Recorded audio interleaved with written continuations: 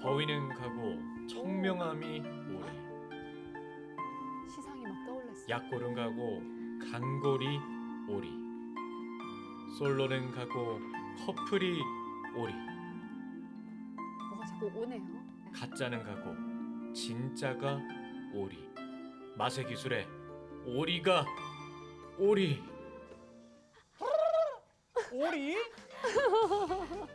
깔끔한 국물 맛과 진한 풍미는 기본 영양까지 가득한 오리백숙 침생 자극 제대로 하는 오리백숙의 맛의 기술 지금 오리 아 느낌이 오네요. 제법 신선해진 바람을 맞으며 찾아간 곳은 제주시 한림읍 명월리 고즈넉한 마을 돌담길을 따라 들어가면 최고의 오리백숙을 자부하는 곳에 다다릅니다. 어 셰프님 안녕하세요. 네 안녕하세요. 아 아니 오늘 오리 아, 잠깐만요 키가 한 오리 정도 되시는 것 같은데 오 늘 오리 탕탕탕이잖아요. 네네. 정말 우리 손동욱 씨가 되게 작아 보여요. 드리겠습니다. 알겠습니다. 이쪽으로 따라오세요. 아 어, 다짜고짜 또 뭘 시키시려고? 네. 어 이거 잠깐만요. 이거 이 가마솥이지 않나요? 가마솥. 제가 제일 아끼는 건데 네. 이거를 한번 청소를 열심히 해보세요. 그럼 제가 가르쳐드리겠습니다. 열심히 하면 맛의 기술 알려주시겠다. 네. 어 가장 아끼시는 거면 직접 하셔야 되는 거 아닌가요? 아니죠. 테스트죠 테스트. 아니 오리백숙 배우러 왔다가 가마솥 청소가 웬 말입니까? 하지만 다 사부님의 기쁜 뜻이 있을지니 그렇죠. 사실 이 가마솥이 없었다면 오리백숙의 깊은 맛도 탄생할 수 없었다고 하는데요. 동욱 씨 처음에 일로 와보세요. 예, 예 셰프님 왜 부르셨어요? 동욱 씨가 열심히 하는 것 같아가지고 예. 제가 이제 첫 번째 맛의 기술을 보여드릴게요. 어, 첫 번째 맛의 기술 드디어 나옵니까? 어떤 네. 건가요? 제일 먼저. 예, 저희는 오리를 삶을 때 이제 물을 안 써요. 다 약재물. 제가 제일 아끼는 가마솥에서 약재물을 6시간 동안 끓이고 이제 그 물만 써요. 아. 첫 번째 맛의 기술을 탄생시키는 약재들을 소개합니다.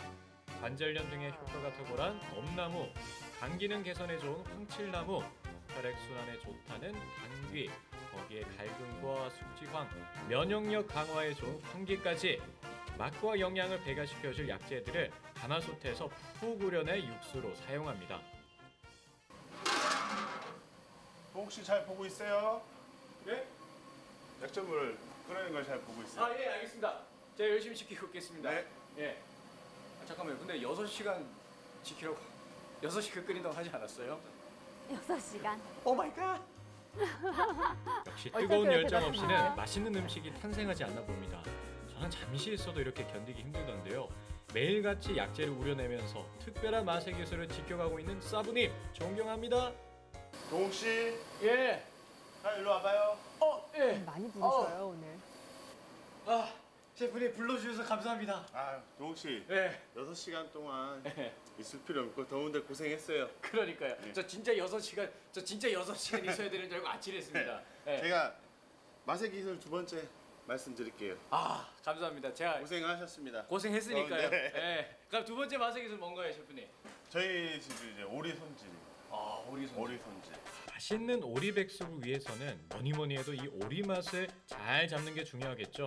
가장 먼저 냄새의 원인인 기름샘을 제거하고 목과 연결된 부위의 지방들과 양쪽 날개들까지 걷어내 줍니다. 그리고 꼭 삶기 전에 오리는 반으로 잘라줘야 되는데요.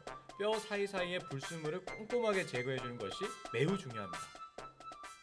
불순물들을 비계를 떼내야 국물이 텁텁한 맛이 안 나고 맛이 깔끔한 맛이 나요. 오리백숙은 우선 압력솥에 약재물과 감자, 오리를 넣어서 끓여줍니다. 닭고기에 비해서 조금 질긴 오리의 육질을 부드럽게 해주는 비책이라고 하는데요. 여기서 끝날 리가 없죠. 팔방미인 약재물을 뚝배기에 따로 담아주고 압력솥에서 삶아낸 오리와 감자를 옮겨 담아주는데요. 미리 잘라서 삶았기 때문에 35분이면 거의 모든 조리가 끝납니다. 음. 맛있. 자, 그럼 이제 고기도 다 삶아졌겠다. 이제 끓기만 하면 그냥 호로록 먹으면 되는 거네요. 이제. 아니죠. 또 어, 제일, 마음이 바쁘죠. 제일 중요한 게 남았죠. 제일 어, 중요한 뭘까요? 거요. 뭐야? 오리백숙 세 번째 맛의 기술. 오리와 찰떡궁합 이 재료들에 있습니다. 오. 바로 싱싱한 전복과 부추. 거기에 각종 버섯들이 어우러지는데요. 보통 버섯들이 아닙니다. 그러게요. 독특한 향과 맛으로 승부하는 귀한 재료인 능이버섯과 모기버섯들이 그 주인공. 아니 셰프님 버섯은 처음부터 같이 끓였으면 더 맛있는 거 아니에요? 버섯 향이 나니까. 버섯은 지금 부추랑 같이 넣으면 처음부터 하면 식감이 없어져요. 그래서 지금 한번 마지막에 끓을 때 넣고 가서 손님들한테 이제 잘라주면 그때 바로 드셔야 그 버섯의 식감이 살아있어요. 드디어 완성된 오리 백숙. 모습에서부터 건강함이 물씬 느껴지시죠? 오리고기에는 불포화 지방산이 풍부해서 성인병 예방에 도움을 주고 비타민과 단백질이 풍부해 면역력 증진과 피로 해소에 좋은데요. 맛 좋고 영양 만점인 오리 백숙 더 맛있게 먹는 방법이 있습니다. 백목이 버섯을 네. 간장 소스에 찍으셔가지고 먼저 드셔보세요. 아 백목이 저 백목이 버섯은 처음 봐요. 그러니까 저게 잘안 음. 보이는, 잘못 음. 보는 건데, 음. 그죠?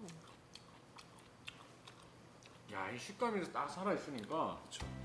오리백숙의 존재감 드러내는 전복 역시 맛보지 않을 수가 없죠. 네. 오리와 음식 궁합 정말 100점인 너무 좋네요. 전복과 버섯들, 맛 궁합까지 200점입니다. 음, 너무 부드러워요. 능이에 탱탱해요, 백목이, 흑목이. 국물이 진짜. 진짜 궁금해. 약재물로 했잖아요, 지금. 그 한, 한약의 향도 싹 느껴지면서 그냥 일단 약간 맛있게 건강한 맛이죠, 여러분. 음. 오래 기다리셨죠? 오리고기 맛은 어떨까요? 간장에 샤워를 싹 시킨 다음에 보면 참 먹을 줄 아셔요. 그러니까.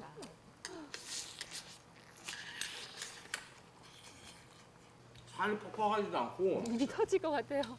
보들보들하면서도 오늘따라 되게 열심히 먹는 것 같은데. 약장으로 끓여서 한 거라 가지고 예, 저 다른 데처럼 뭐 소주 넣고 그렇게 하지 않아도 연해요. 한 번 씹을 때마다 이 육수의 맛이 네. 쫙쫙쫙 육즙이 퍼진다고 해야 되나요? 입안에서? 음. 오리백숙을 즐기는 또 하나의 방법 찹쌀 누룽지를 넣어서 끓여 먹으면 음, 그렇죠. 이만큼 든든한 별미가 또 없습니다. 있어야죠. 오, 야, 이건 아, 먹으세요?